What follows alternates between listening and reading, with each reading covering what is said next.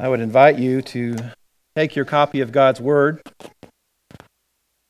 and turn to Luke chapter 1.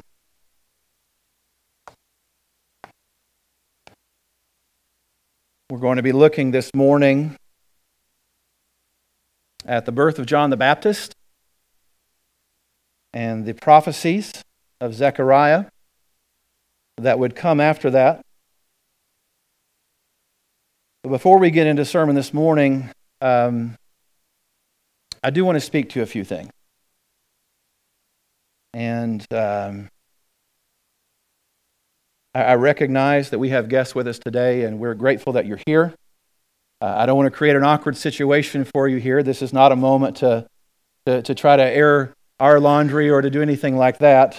But I do want to address just a few things to the church. We are a faith family, and these gatherings are important. And it's important when we come together that uh, we do what is needed as we minister to one another and seek to honor the Lord together. And I want to at least speak to the church um, pastorally. This would be my first Sunday uh, officially as an elder in the church here. Uh, and this is not necessarily the conversation I would want to have uh, beginning that time, but I, I, do want to share just a few things with you that are on my heart. Uh, and I have put some of these things before the elders and before some other friends in ministry uh, before coming to you this morning, but just want to share a few things. First, on behalf of Maggie and I, I do want to take this opportunity just to express our humble gratitude to you uh, for the love that you have shown our family um, since our arrival here at New Hope. Uh, we came here about three years ago, I guess. And uh, we came we came to see friends to the next place. I left a, a, church that I was serving in East Kentucky, and uh, we were we were going to be seeing what the Lord had in store for us next. But we came here and we felt like we were home. And so I'm so grateful for that and for the love you've given to us, and and now for the trust that you have placed uh, in us in, in affirming me to serve now as an elder in our congregation. I want you to know that's not something I take lightly. Um, 1 Timothy 3 tells us that if anyone aspires to the office of an elder, that he desires a noble task. And while this is not something that I was actively seeking out, I, I do count it a privilege to have been considered and to be affirmed.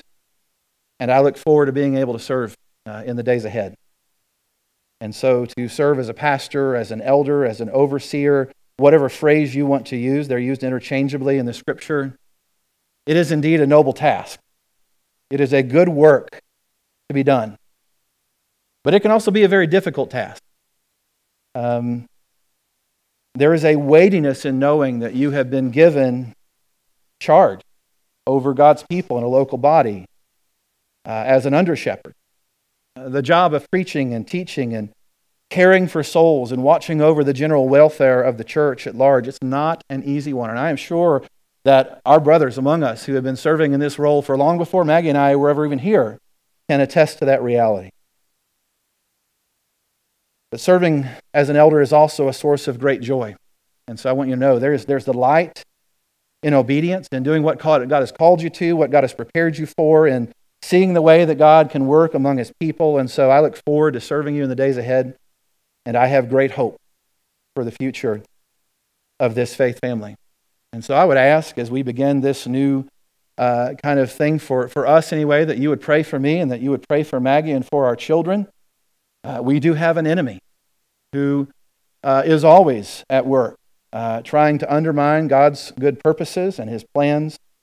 And uh, we know that our family uh, in a moment like this can become all the more vulnerable because uh, we have an enemy who uh, not only is in rebellion against the Lord, but also despises his church.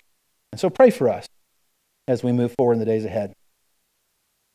Second, I want to say to you that while Maggie and I are rejoicing, we know that the results of last Sunday's vote are bittersweet. Uh, I was approved to serve as a new elder in this congregation. And while that was happening, Derek Morris was also being considered. And while he received an 84% vote of affirmation, which well exceeds what would be considered a supermajority in just about any situation, uh, that did fall short of the 90% threshold that is required by our Constitution. And so I will say to you that in my conversations since last Sunday night and this vote was taken, the people that I have spoken to have expressed a mixture of shock and disappointment, and I completely understand those sentiments. Derek and his wife Lauren have served our church faithfully. For longer than Maggie and I have been around for sure. As best as we can tell, their life and their witness speaks for itself. When this discussion about selecting new elders in the church came up, um, I was glad that Derek was a part of that conversation. And I will tell you that in the weeks leading up to our, our vote on Sunday night, that Derek and I spoke regularly. We talked a lot about our perspectives on the current state of the church. We shared a lot of ideas about what we might hope to accomplish in the days ahead. And I was very much looking forward to serving alongside him in the elder body if we were to be affirmed. And I will tell you that is certainly not what I had hoped for to be moving forward without him. Now, I want to be abundantly clear about something. As far as I am concerned, when we consider what Scripture has to say about those who would hold the office of the elder, I believe that Derek is undeniably qualified. When you read what the Scripture has to say, 1 Timothy chapter 3 verses 2 through 7, therefore an overseer must be above reproach, the husband of one wife, sober-minded, self-controlled, respectable, hospitable, able to teach, not a drunkard, not violent, but gentle, not quarrelsome, not a lover of money, he must manage his own household well with all dignity, keeping his children submissive. For if someone does not know how to manage his own household, how will he care for God's church? He must not be a recent convert, or he may become puffed up with conceit and fall into the condemnation of the devil. Moreover, he must be well thought of by outsiders, so that he may not fall into disgrace, into a snare of the devil. You go to Titus chapter one, chapter 1, you see many of these same things repeated. Now, when I consider the qualifications that are laid out in the scripture, I see nothing that would give me pause concerning Derek or his family. Now, beyond being biblically qualified, I believe that Derek has proven through the years in various settings and in his preaching over the last couple of months that he is up to the task. He's clearly diligent in his study. He's gifted in his ability to understand and to teach God's word. He has pastoral wisdom that has long benefited those who have come to him for counsel. And many of you can attest to this. So I am thankful. And by the way, brother, we're glad that you're here and we're glad that you're feeling better. Y'all know he's had a rough week. Felt like he was on death's door. But we are glad that you're here. But I am thankful for Derek and Lauren's service to this body through the years. I am confident that it will continue, regardless of whether there is any particular title or position given. I think, though, that Derek has more to offer this body. And I just want to be clear about that. I think with his gifts and his wisdom, he offers a lot that we would all benefit from. And I want, to, I want to make it clear that it is my hope that sometime in the future, perhaps even in the near future, that he will be given the opportunity to serve this body as an elder. And I believe that's a conversation that needs to be continued. Now, as part of that conversation, I want to invite you, personally and on behalf of our other elders, to give us your feedback. We want to hear from you. Our elders already have have spent time speaking with Derek and examining his life. They submitted him to the church for affirmation. And there's been nothing in his life or in his teaching that would change their view or my view that he is well qualified for this work. But we realize that we're not perfect. We realize that we don't always judge everything exactly the right way. We can make mistakes. So if you are someone here who voted not to affirm, understand this I'm not here to to, to, to come at you today. That's not the goal here. But if you are someone here this morning who voted not to affirm and you did so on the basis of a legitimate biblical concern, based upon the qualifications in Scripture that are given for those who would serve the Lord and His church in this way, then I want you to know we need to hear from you. We need to hear from you. If there is something that we are blind to, that you know exist, then by all means, will you please bring those things to us so that we as shepherds can address those things in Derek's life and so that we can, can help a brother see where he's weak and help him find a way forward. Furthermore, if you voted not to affirm based upon some sort of confusion about the way that things were presented, the way things were being done, the kind of choice that you were being asked to make, please come speak to us and let us help you understand what it is that we, as elders and as a church body, are hoping to accomplish. But even as I extend that invitation, I want to offer a word of warning. Again, this is my first Sunday in the official capacity of an elder. But I have watched as quietly as I could over the past few months different ways that things have happened in our church body um, and have not really been in a position to speak. And, and now that I'm here, I, I, want you to know I, am not, I'm not here to lash out. I'm not here for any other purpose. I, I really want to see the best for this body. And so, as I ex- extend that invitation that you would come and please share with us where you see there may be troubles, I do want to give a warning. And again, if you're a visitor here today and this is really weird, I'm sorry. We're going to get past this in just a few more minutes and we're going to go on. But to our faith family, we've already heard over the past week, some cases directly, in some cases by word of mouth. We want to treat that very carefully when we've not been directly involved in some of those conversations. But we have heard several of the reasons that people voted not to affirm both Derek and me.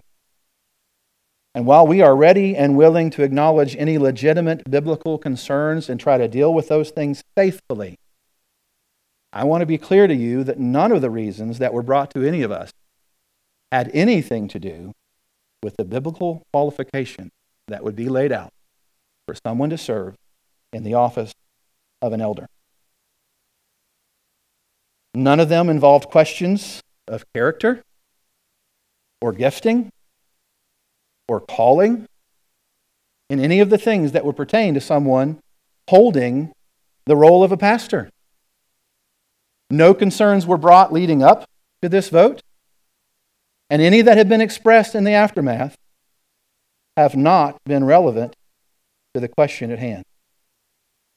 Instead, those who have shared their reasons for voting against affirmation have shared that they did so on the basis of things that had nothing to do really with Derek or me at all.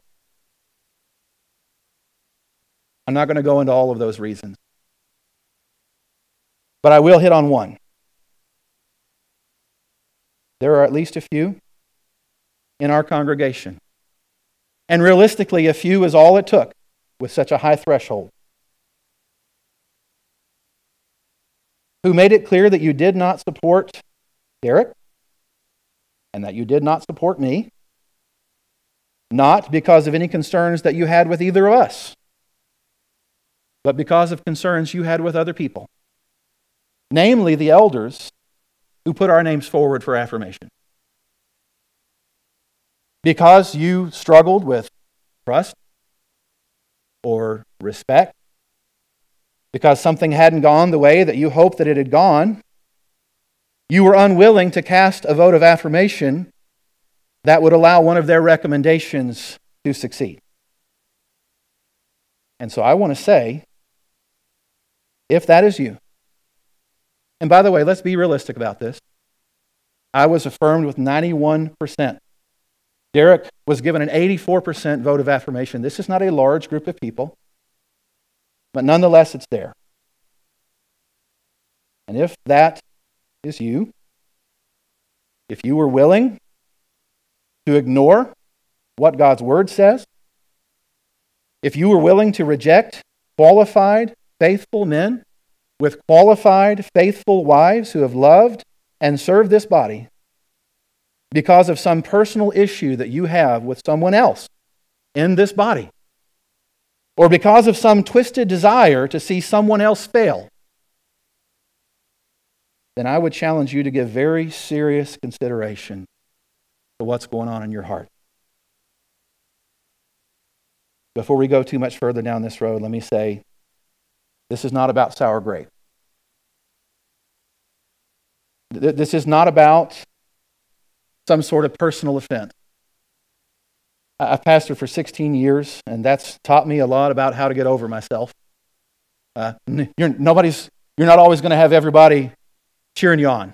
You know, not everybody's going to be a fan. And sometimes I'm going to do stupid stuff that's going to upset you, and I get that. That's not what this is about. By the way, I also should say I don't know who voted how. Haven't got a clue, don't want to know, don't need to know. But I will say to you, this is not about me. This is not about Derek. This is not about me trying to defend someone who I count as a friend. This is about us. As a faith family, as a church body, and the ways that we would go forward in service to the Lord. This is about the present and future health of our church. And so it should be clear enough that if you are willing to ignore what the Bible says about the qualifications for someone who would serve in the office of the elder, and if you are willing to work against the interest of the church or to reject a faithful brother based upon your own personal opinions of other people, based upon perhaps some sort of resentment or bitterness that you're harboring in your heart, it should be pretty clear that is not God honoring. That is not Christ glorifying. And I will say to you without hesitation if that is, is where you're at right now, you need to repent. You need to own your sin. You need to confess to God and to your brothers and sisters where you've done wrong. And you need to find a way to kill off that bitterness, that resentment in your heart, and lay aside your personal agenda for the good of the body and the glory of God. Look, folks, it's obvious that we have some things to work on around here, all right? There are some relationships that are broken that need to be mended before they tear this church apart. There are some hearts that are going to have to change. There's going to have to be some shared humility and repentance and willingness to overlook what really ought to be some pretty minor offenses in various ways and to forgive there is trust that has been lost, that will need to be earned back. And if we can't do these things, then we're going to have a very difficult time moving forward as a church. And so we must. And I believe that by God's mercy we can and that we will. And I'm committed to doing all that I can moving forward as an elder, as a brother, to see that happen. So, in the days ahead, I, I want to encourage all of you who are part of our faith family to do a few things. First, will you join me in earnest prayer for New Hope Baptist Church? Will you join with me in praying that God will work in the hearts of his people and bring us to a place together of humble submission to his word and to his will? Will you pray specifically for broken relationships to be mended and fellowship to be restored among brothers and sisters in this body who are not loving each other as they should? I think there's this thing that's happening where we all know there are a few things that aren't quite right. There are a few people who aren't getting along, but that is spilling over into this body and it is hurting our fellowship together. Will you pray? Second, Will you commit yourself to not being drawn into the fray? We are in an unfortunate place right now as a church. There are individuals who have aught with other believers in this congregation. And unfortunately, in some cases, they are doing their best to draw up the battle line. They're doing their best to bring people to their side, whatever that is. And so we have this never ending stream of side huddles and hushed conversations, of phone calls and living room meetings and all these things that are being used to this end. But I want to ask you, how do you think that's going so far?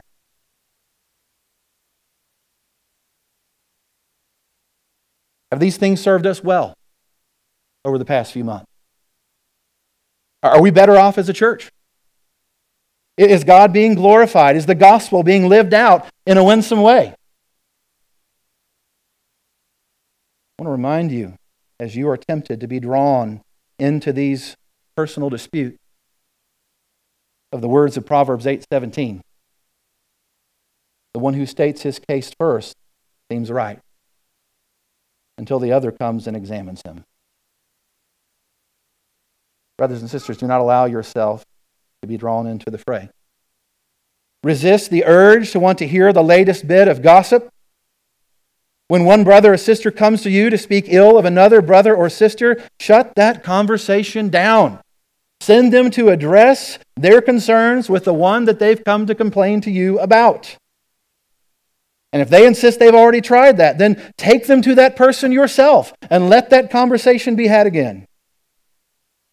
And if they are unwilling to have that conversation face to face, if they are unwilling to do that in the light, then refuse to have anything to do with that and don't let that conversation go any further. Third, will you commit, as you seek to love and honor the Lord, to also love and honor your brothers and sisters in this faith family? And will you commit to doing so with joy. I know I'm taking a lot of time here. But before we go, I want to read you one last passage of Scripture. Listen to what Paul writes in Romans chapter 12, verses 9 through 21. How ought we to be treating one another within the household of God? Listen to these words. Let love be genuine. Abhor what is evil. Hold fast to what is good. Love one another with brotherly affection. Outdo one another in showing honor. Do not be slothful in zeal, but be fervent in spirit. Serve the Lord.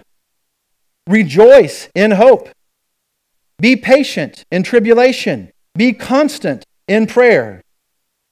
Contribute to the needs of the saints and seek to show hospitality. Bless those who persecute you. Bless and do not curse them. Rejoice with those who rejoice. Weep with those who weep. Live in harmony with one another. Do not be haughty, but associate with the lowly. Never be wise in your own sight. Repay no one evil for evil but give thought to do what is honorable in the sight of all. If possible, so far as it depends on you, live peaceably with all. Beloved, never avenge yourselves, but leave it to the wrath of God. For it is written, Vengeance is mine. I will repay, says the Lord. The contrary, if your enemy is hungry, feed him. If he is thirsty, give him something to drink. For by so doing, you will heap burning coals on his head.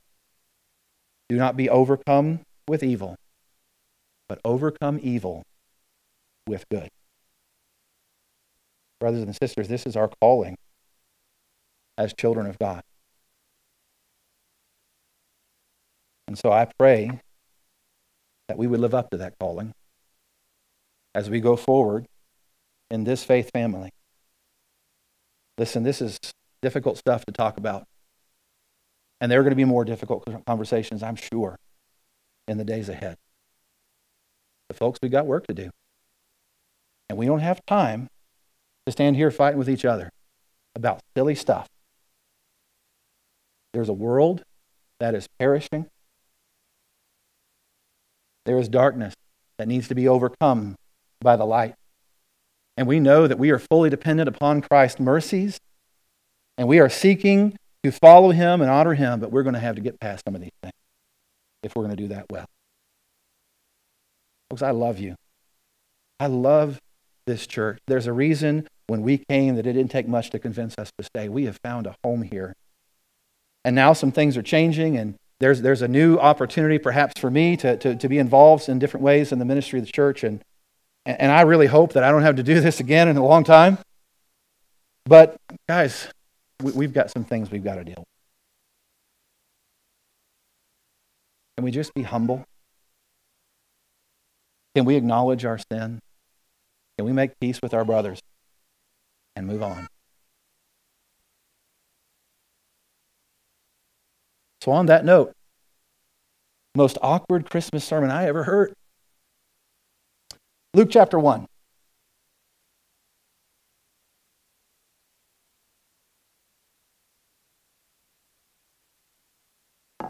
Luke chapter 1. I'm going to continue this morning our look at the Christmas story. And considering this morning the birth of John the Baptist, specifically the prophecy of Zechariah concerning who Jesus, uh, who Jesus was, and, and who would be born soon after, we'll see in this a picture of our Lord, of who he would be, what he would accomplish. We'll also see here John's purpose, and we're going to see in the ministry of John the Baptist some things that might help to teach us about who we ought to be and what we ought to be doing. And so we're going to look this morning at the Lord's Word. We're in Luke chapter 1. We'll begin in verse 57, and we're going to cover more, but we'll stop reading this morning in verse 66. We read Luke chapter 1, beginning in verse 57. Now the time came for Elizabeth to give birth, and she bore a son. And her neighbors and relatives heard that the Lord had shown great mercy to her, and they rejoiced with her. And on the eighth day they came to circumcise the child. And they would have called him Zechariah after his father. But his mother answered, No. He shall be called John. And they said to her, None of your relatives is called by this name. And they made signs to his father, inquiring what he wanted him to be called. And he asked for a writing tablet, and he wrote, His name is John. And they all wondered. And immediately his mouth was opened and his tongue loosed, and he spoke, blessing God. And fear came on all their neighbors, and all these things were talked about through all the hill country of Judea. And all who heard them laid them up in their hearts, saying, What then will this child be? For the hand of the Lord was with him. We'll stop there for now. Let's pray together. Father, we delight this morning in your word. We rejoice in the hope that is ours because of Jesus Christ.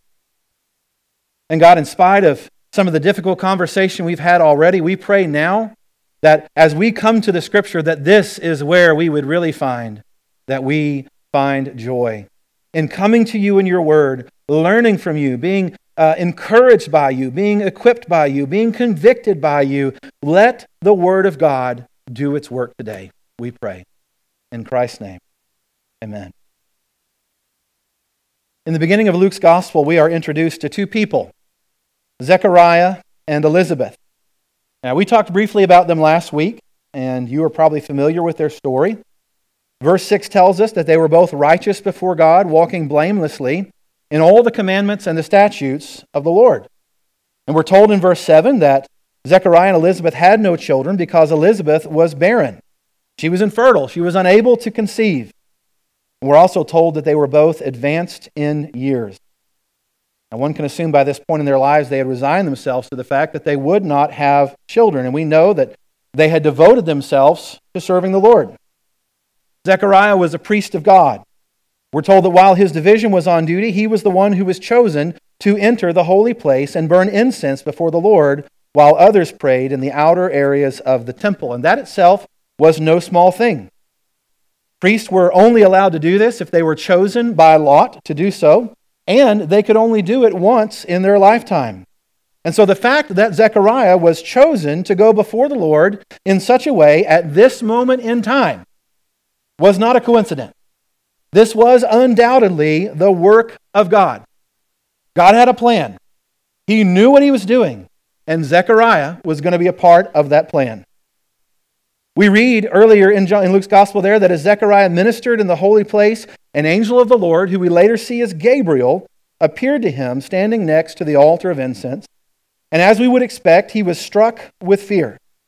The text says that Zechariah was troubled when he saw him, and fear fell upon him. But just as the angel did with Mary and Joseph, Gabriel spoke to Zechariah, telling him not to be afraid. Because just as it would be for Mary and for Joseph, the angel brought Zechariah good news. His prayers had been heard. His groanings before the Lord had been heard, and his wife Elizabeth was going to have a son. And he told him, You're going to call his name John, a name which literally means God has shown grace. And that would be true in more ways than one. Not only would Zechariah and Elizabeth miraculously have a son, but that son would have a special purpose. In verse 14 of Luke chapter 1, the angel said, You will have joy and gladness, and many will rejoice at his birth. For he will be great before the Lord. And he must not drink wine or strong drink, and he will be filled with the Holy Spirit even from his mother's womb. And he will turn many of the children of Israel to the Lord their God. And he will go before him in the spirit and power of Elijah, to turn the hearts of the fathers to the children, and the disobedient to the wisdom of the just, to make ready for the Lord a people prepared. So John would be great the, before the Lord, and he would have a special calling. John would be what was called at that time a Nazarite, one who had been set apart for a special purpose. That's what that part about not drinking wine or strong drink is all about. And there were other things also that were assigned to the one who would take that Nazarite vow. Even from his mother's womb, we, we find out that he would be filled with the Holy Spirit. That itself is so remarkable because when is it that God's people are typically filled with His Holy Spirit? It's when regeneration takes place, right? When we come to faith and we put our trust in Jesus, we have John the Baptist leaping in the womb, full of the Holy Spirit, when Jesus, also in the womb, came near. We're told that as he grew older, in the spirit and the power of Elijah, he would come out as a prophet who would prepare the way for the coming Messiah. Daryl's read already for us from Isaiah chapter 40 about the one, the voice that would cry in the wilderness, telling people to get ready for the coming of the Lord. And that would be John's purpose. Now, of course, all this seemed beyond comprehension to Zechariah. And so he asked, How shall I know this? For I'm an old man and my wife is advanced in years. Another way of saying that might be, Hey, okay, that sounds great, but how am I supposed to believe you? With all due respect, Mr. Angel, me and Elizabeth, we're, we're not exactly spring chickens anymore, all right? We've been around a while. We haven't had a child in all these years, and we're well beyond the time when people would typically have children. How could this possibly be true? But Gabriel told Zechariah that he had been sent from God to bring this good news, and it would come to pass. And so, both to serve as a sign and as a judgment for his unbelief, Zechariah was made silent. He was unable to speak until the child was born. And after that, we're told the angel departed. He left Zechariah in the holy place. We're told that when he came out and he was unable to speak, that everyone else knew that something remarkable had happened during that time when he was ministering in the holy place. And eventually, when his time of service was done, he went home, and just had been, as had been promised, his wife Elizabeth conceived. And all of this prepares us for what's beginning to unfold in verse 57. So you fast forward nine months. And in verse 57, we're told that the time had come for Elizabeth to give birth. And just as Gabriel had promised, she gave birth to a son. Verse 58 tells us that her neighbors and relatives heard that the Lord had shown great mercy to her, and they rejoiced with her. This was cause for celebration, and it was right for them to celebrate. The birth of any child is a blessing, and we ought to celebrate that together. There are those times when it's just a little bit extra special. This would have been true for Zechariah and Elizabeth. Children in that day were considered a symbol of blessing. And by the way, though we don't often regard it, we ought to consider it the same way today. These children were a blessing. But on the opposite side of that, when a couple could not have children, it was often assumed that somehow they were the opposite of blessed. Perhaps they were under a curse. Perhaps they were under some kind of judgment from God. Not really fair. It definitely wasn't always the case. It's not the case in our day. But ultimately, couples who could not have children were often looked upon with scorn and shame, especially the women. And that's why Elizabeth, back uh, in, in verse 25 there, when, when Elizabeth says, In giving her a son, God has taken away her reproach. So everyone saw this as a work of God's mercy, and they were celebrating together the birth of this child. The simple reality of being able to have a child was a remarkable gift from God to Elizabeth and Zechariah, even apart from his calling and his greatness before the Lord. Well, in verse 59, we see that on the eighth day after his birth, they took the baby to the temple to be circumcised. This was in accordance with the law. It's also an important family tradition. And I say that for this reason. It was a time when, when extended family and friends would often come to be part of the ceremony. It's a time when the child would be dedicated to the Lord, and the parents and the extended family would pledge to raise him to, to know God and to love God and to live and according to his teachings. And those who were gathered around at this time when this baby is going to receive his name, they wanted him to be named Zechariah after his father. But his parents knew better. His name had already been chosen. It had been revealed directly from God Himself through the ministry of His angel. And so Elizabeth told them, No, his name is going to be John. Well, the family protested. Why would you name him that? Any of y'all ever went to name your kids and got some criticism along that line? Why are you going to name him John? Ain't nobody in your family named John. Name him after his dad. Wouldn't that be great for him to be his father's namesake? But she says, no, that's not going to be. Well, they don't, they don't trust Elizabeth, do they? They're not going to take her word for it. How could you do this to your husband? So they go to Zechariah and they begin to question him. So what does he do? He calls for a tablet and he writes the words His name is John. And we're told in verse 63 that at that they all wondered. Didn't make sense to them, but very soon it would. Because when Zechariah obeyed the Lord, when he conf- confirmed that the boy would be called John, we read that then his mouth was opened and his tongue loosed, and he spoke, blessing God.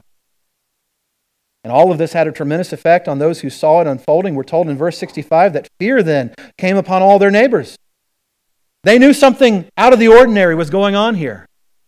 Fear came upon all their neighbors, and all these things were talked about through all the hill country of Judea. And all who heard them laid up in their hearts, saying, What then will this child be? For the hand of the Lord was with him. The word is spreading throughout the country of Judea about the miraculous birth of this baby named John and the most unusual circumstances that surrounded it. We're told that the people were stuck with a certain sort of fear, a reverence toward God, knowing that he was up to something. They knew that the hand of the Lord was on this child, but they did not know why. So they asked themselves, What then will this child be? We're going to see very soon in Zechariah's prophecy the answer to that question. You know, it's amazing that even at his, at his birth, John already knows how to stir up the crowd. He, he already, in the very beginning, has, has, has stirred the hearts of the people, and they're asking these questions, beginning to marvel what in the world is going on with this guy? Well, it was just getting started, wasn't it? I, I, I think through this passage, and I, I'm struck by the irony of the response from those who saw this happening. Certainly, the, the birth of John the Baptist was miraculous, and I don't at all want to downplay that, but the whole point of John's ministry would be what?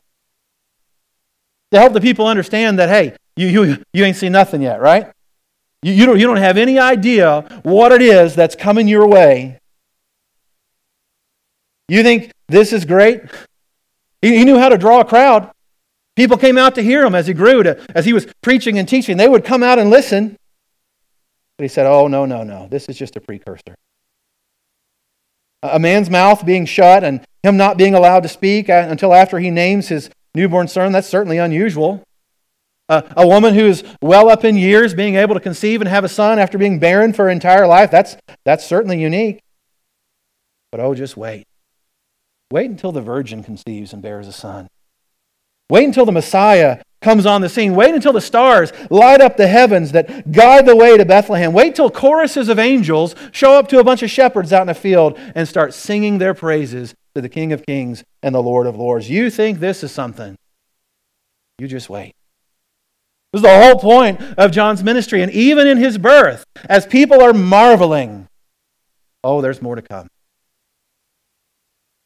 Zechariah knew that John was special, but he also knew that he would point to one who was even more special. And so, as you move forward here in Luke's gospel, you begin to see how Zechariah, filled with the Holy Spirit, begins to prophesy. He's declaring a word from God. And what does he say? Look at verse 68. Blessed be the Lord God of Israel, for he has visited and redeemed his people, and has raised up a horn of salvation for us in the house of his servant David as he spoke by the mouth of his holy prophets from of old, that we should be saved from our enemies and from the hand of all who hate us, to show the mercy promised to our fathers, and to remember his holy covenant, the oath that he swore to our father Abraham, to grant us that we, being delivered from the hand of our enemies, might serve him without fear, in holiness and righteousness before him all our days. There's an interesting thing that's happening here. After meeting the angel of the Lord and being struck with silence, unable to speak for this entire time, waiting for the birth of his son, they come and say, Hey, call him Zechariah. And he has to write on the tablet, His name is John. And he blesses the Lord and he begins to speak, but he's not talking about his boy. He's been waiting all this time Years of barrenness and crying out to God, asking for mercy, asking Him to give him a son. But when his son is born and they pronounce his name, he starts to bless God and he doesn't say, Let me tell you about John. Let me tell you how great he is. He says, Oh, no, no, no. There's something more at work here. God is up to something a lot greater than the birth of this boy. He speaks not of John here, but he speaks of another as he is worshiping and blessing the Lord God of Israel, he tells us why that Lord God of Israel is worthy of worship. Because he is bringing salvation. Break it down. Think about what Zechariah says. One of the things he says here, verse 68 Blessed be the Lord of God of Israel. Why? Because he is visiting his people. Last week we saw in John chapter 1 how the Word, who was in the beginning, was with God, was God, became flesh and came to dwell among us. Jesus is the holy visitation of God among men. God was coming to visit his people. And so Zechariah rejoiced. God was coming to redeem his people. Through Jesus Christ, the price for sin would be paid and his people would be free. They would have forgiveness. Jesus' birth was a necessary precursor to his death. He came to the manger so that he could go to the cross and finish God's redeeming work. So God is redeeming his people. What else does he say? Verse 69 God was raising up a horn of salvation. Now, I'm just going to go out on a limb and say that's probably not a phrase you use that often in your conversations. Not something maybe that jumps out to us or makes a ton of sense right off. But it's found in numerous places in the scripture. This is a statement of power, a statement of might. The picture here is of the horn that would be on an animal, or a horn that would be carried in the hands of a warrior as a weapon that would be used in battle to run one's enemies through. Our children aren't here, so they don't get this reference. But you know, they're, not here to get the reference. You read the Narnia series in that very last book, you got this unicorn. That's just a beast, right? Cutting through people with that horn, leaving bloody bodies in his wake. Like, that's the kind of imagery that's being used here. Like a mighty warrior, the coming Messiah would defeat every enemy of his people. Well, that's no helpless baby laying in a manger. Note how he says this is taking place in the house of David. Again, as we saw last week, this is affirmation. Jesus is indeed the promised Messiah. He is the prophesied one, but he comes as a horn of salvation who will wage war. And we see here that God is keeping his promises. As he's blessing the Lord, what does he say? Just as he spoke by the mouth of his holy prophets from of old. God is doing, Zechariah says, the very things that he said he would do, the things that were declared by the prophets. He's, he's bringing those things to pass. He's saving us from our enemies. He's showing us mercy. He's keeping his covenant. All these things that are laid out in that prophecy as it goes forward. And because of this, he says in verse 74 that they could serve him without fear, in holiness and righteousness before him all their days. So, this is a declaration, the celebration of the Messiah who's coming, a time of worship for Zechariah after the birth of his son. And Zechariah understood the, the special plan that God had for his son as a part of that. So all the people are marveling. What then will this child be? Obviously, the hand of the Lord is with him. John says, Oh, no, no, God's doing something better. He's sending us the Messiah. He's going to finish his work, he's going to keep his promises. But he does take some time to speak, to speak concerning his son. In verse 76, he turns his attention here to what John would accomplish. He says, And you, child. Think about that. After all these years of waiting and longing and crying out to the Lord, he finally holds his son and he gives him a name. He's blessing the Lord, he's rejoicing in the coming of Messiah. Can you feel the weightiness of this now as he looks at his own son and says, You, you've got a job to do. He says, You, child, you will be called the prophet of the Most High. For you will go before the Lord to prepare his ways, to give knowledge of salvation to his people and the forgiveness of their sins, because of the tender mercy of our God, whereby the sunrise shall visit us from on high, to give light to those who sit in darkness and in the shadow of death, to guide our feet into the way of peace. Isaiah wrote in his book of prophecy, we read it last week. The people who walk in darkness have seen a great light. Those who have dwelled in a land of deep darkness, on them the light has shone. John tells us in his gospel, this is a different John, by the way. But John, the apostle, tells us in his gospel that Jesus would be that light that would shine. But he also tells us about John the Baptist and what he would do. John's gospel, chapter 1, verse 6 through 8, he says, There was a man sent from God whose name was John. He came as a witness to bear witness about the light, that all might believe through him. He was not the light, but he came to bear witness about the light. This is what John's ministry, what John's life would be all about. His purpose in life was to bear witness about the light so that all could see and hear and believe in him. As Zechariah says here, he would be a prophet of the Most High God going before the Lord to prepare his ways.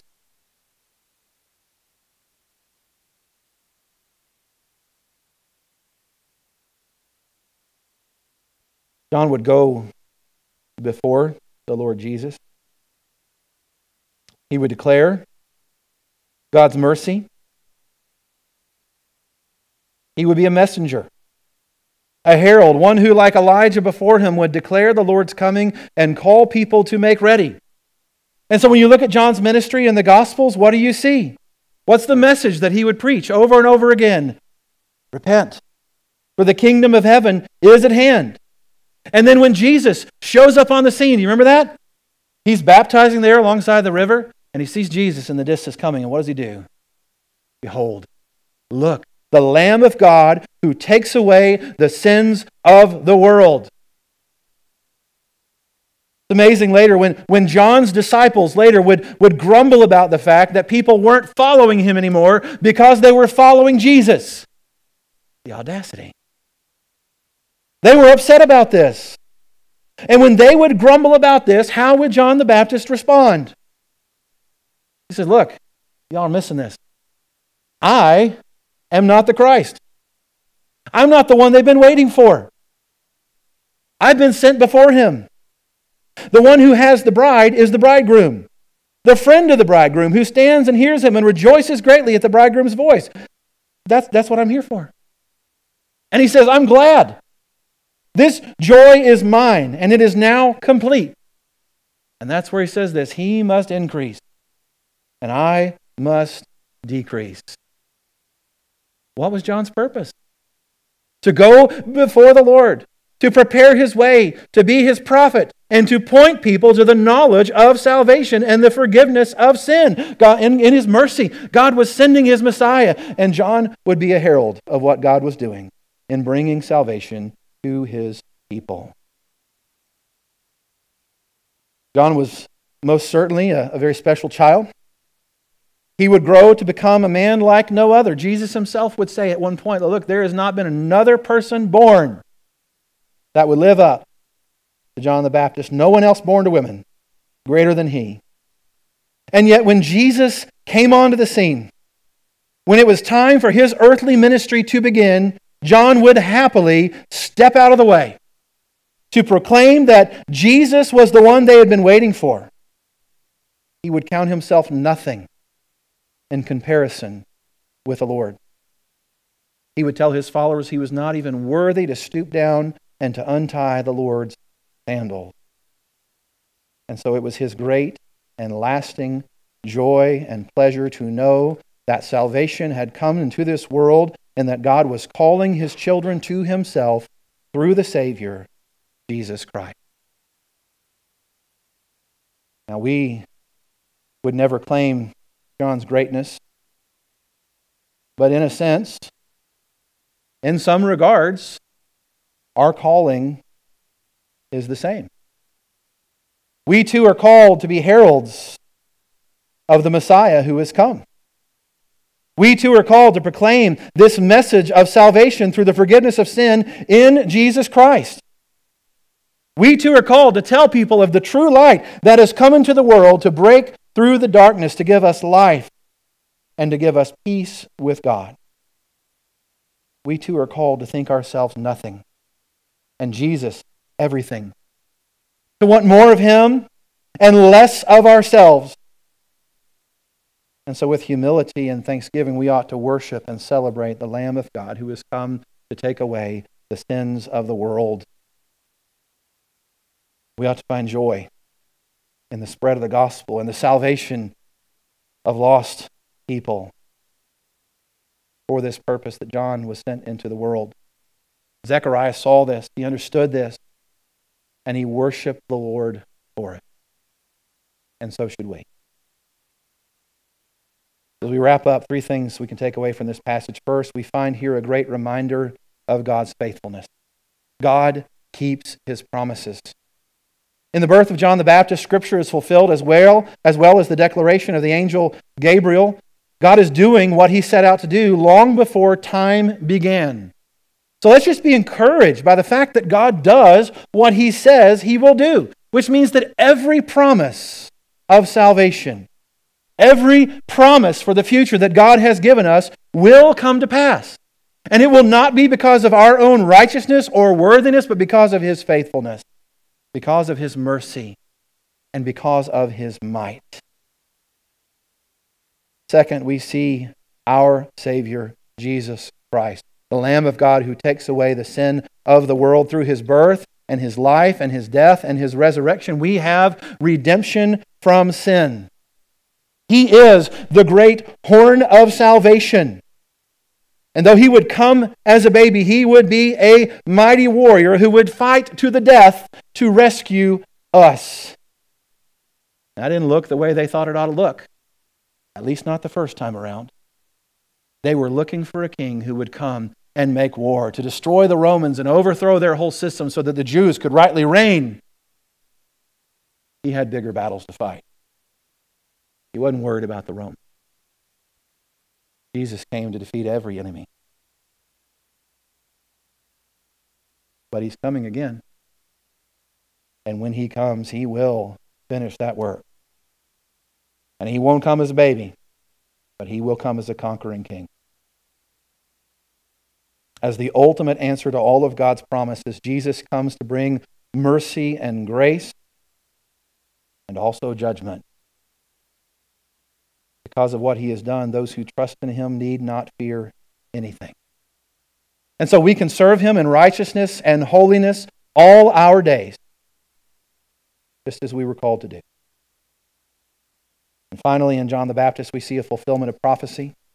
a gift of grace, a bold witness to the gospel. And though we may not be everything that he was, we too are called as recipients of God's grace and now instruments of God's grace to be ready and willing and active in sharing the message of the gospel to all who will hear it. We should devote ourselves to this task. We ought to be committed to fulfill our calling, the command of God to make disciples of the nations. And so that means we ought to be praying faithfully for lost people. We need to be asking God to reach them in their sinful state and bring them to faith in His Son. It means we need to be willing to give sacrificially to help support others who are doing this work around the world. By the way, it's good to have you with us today. Celso and Andrea are here, and we have been engaged with them in ministry around the globe for a long time. We are delighting in the work that God has in store for you. We're glad that you're able to be here now and to minister to your family. But we look forward to the next report of what God is doing in that work. So we should give to help support the work of the gospel that's going out in other places for those who are able to go and do that. But we've also got to get to work ourselves. Whether you're crossing the globe or crossing the street, we must be bold, faithful in sharing the message that this world is broken, that sin wrecks our lives, but that salvation and forgiveness is found in Jesus Christ and in Him alone. We can be very good at sorting out our theology. Uh, we can sit down and talk about the Bible for a long time. We, we can wage war against the sin in our lives and walk in holiness together before God. We can get a whole lot of stuff right. But if we get to the point where we can say that we understand the gospel, but we are not preaching the gospel, then there's good reason to believe that we don't understand the gospel quite as well as we might think. So, we certainly pray and we give, but we must be a part of the work of declaring the good news the Messiah is coming to a world that needs to hear it. Zechariah proclaimed in his prophecies that the Savior was coming. God was going to visit his people. He was going to redeem. He was raising up this horn of salvation. We can declare with him that the Savior has come. And we must declare that he is coming again. And while we wait, we prepare the way for his arrival.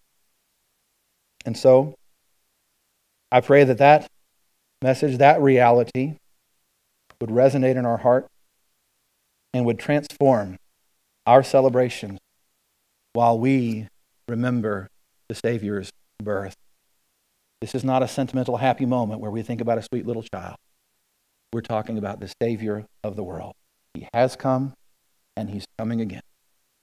So let's do all that we can ourselves to make sure that we are ready for His coming. And let's call others to make way because He's, he's coming. Let's pray together. Father, we rejoice in your precious promises. You sent your Son into this world just as you said you would do. He lived a sinless life just as you said he would. He gave himself as a sacrifice for sin, just as you said he would. He rose again victorious on the third day, just as you said he would. He ascended into heaven, just as you said he would. And one day he will come back, just as you have promised he will do. God, help us to rejoice in our salvation, the gift we have been given through your Son, Jesus Christ.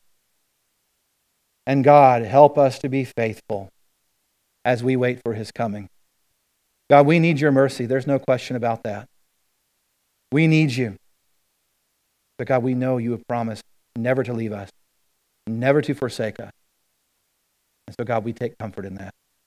Help us to be faithful while we wait for the Lord's coming to preach his gospel, to love our brothers and sisters, and to hold up the truth of his word above all else. We pray this in Christ's name. Remember tonight, 6 o'clock, here in the sanctuary, our kids have a presentation for us and some light refreshments to follow. I hope to see you there.